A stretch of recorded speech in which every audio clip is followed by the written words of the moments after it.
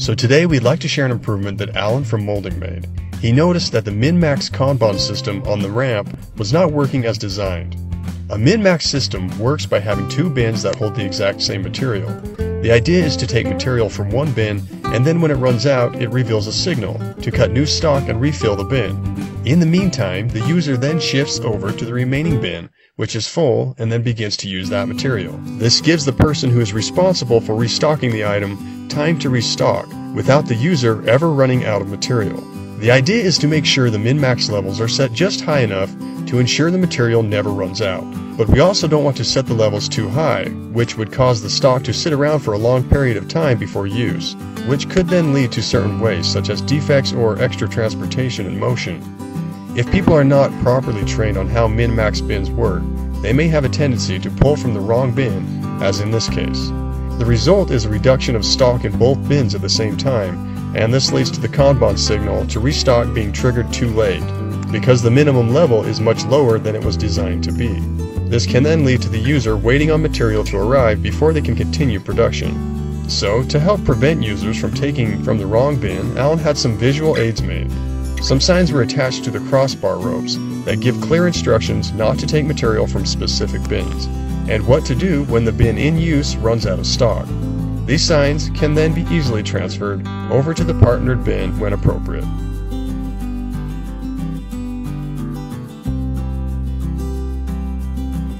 And Nancy identified the waste of waiting and possible defects during the process of applying miter joint molded profiles to their clipped face frames.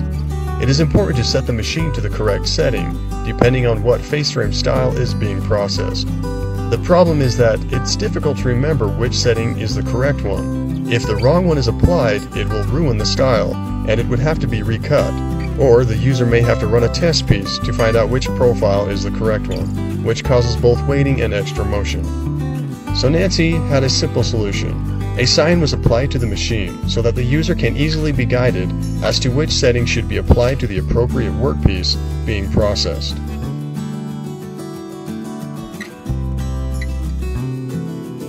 Question Have you taken a moment to fix something that bugs you lately?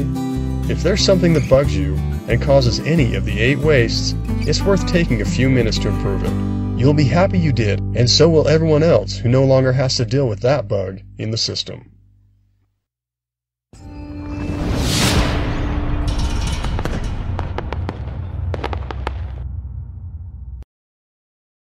Jocko, I am a chronic excuse maker. How do I stop making excuses and get things done? The chronic excuse maker. How do you stop making excuses? This is actually pretty simple. And I said it the other day, and you have to realize, you have to know, you have to accept that all your excuses are lies. They are lies, all of them. Think about the things that you tell yourself, the lies you use to rationalize taking the easy road. Taking the easy road and leaving discipline behind. Think about them. You don't have time.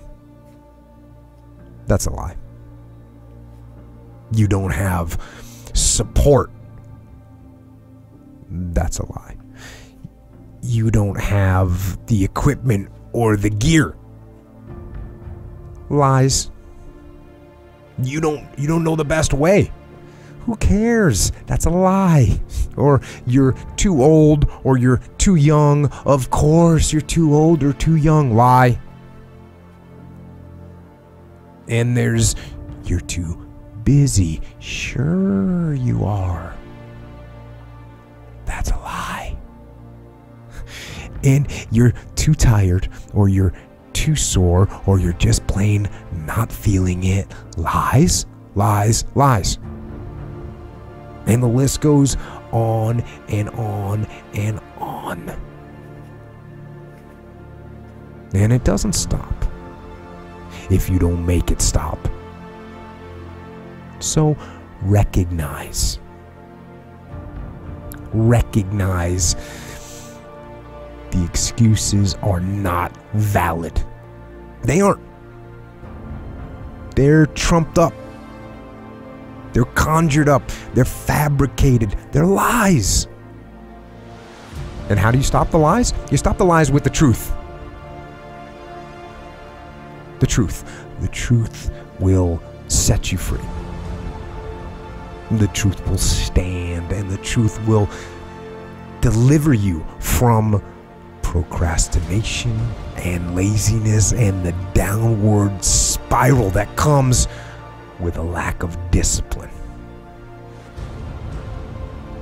So don't believe the lies, believe the truth. And the truth is, you have time. You have the skill, you have the knowledge and the support and the willpower and the discipline to get it done. So cast out the lies, burn them down.